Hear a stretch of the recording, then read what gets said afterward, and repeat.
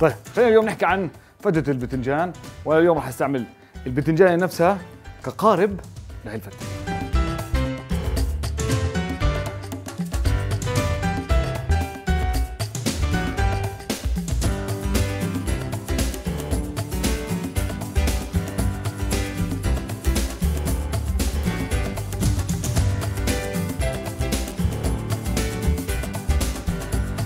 بودرة دجاج مناجية على مي دافية.